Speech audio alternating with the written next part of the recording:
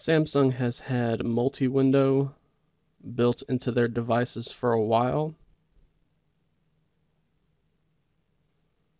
And this feature comes back with the Galaxy S7 and S7 Edge.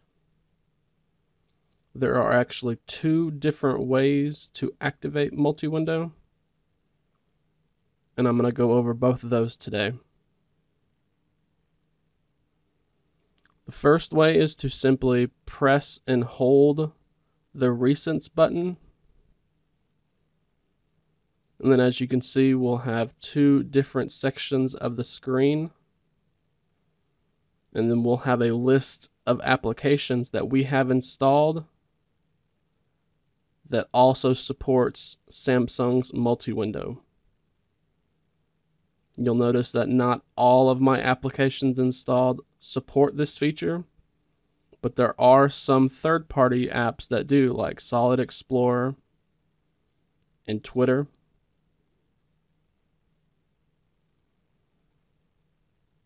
So once you activate multi-window by pressing and holding on the Recents button, it's going to ask you to pick an application for the top.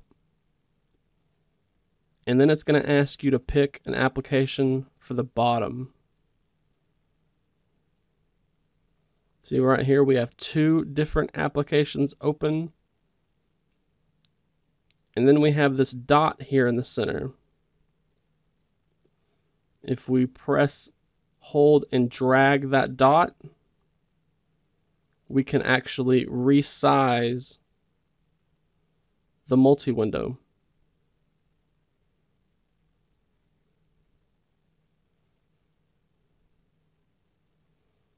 As you can see, this is actually two full apps running.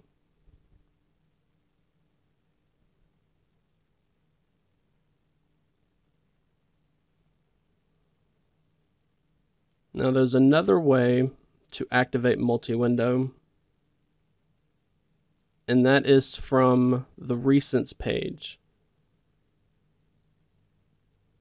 You can do it anytime in the recents page or if you already have an application open, you can open up the recents page and the application you were just in will be at the bottom to make it a little easier to activate multi-window.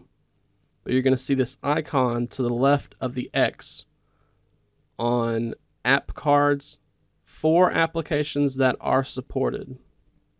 So like as you can see here, the settings app is not supported by Samsung's multi-window. So all we have to do is tap on that icon and it will bring up that app in multi-window for the top part. Then we get that same application chooser at the bottom.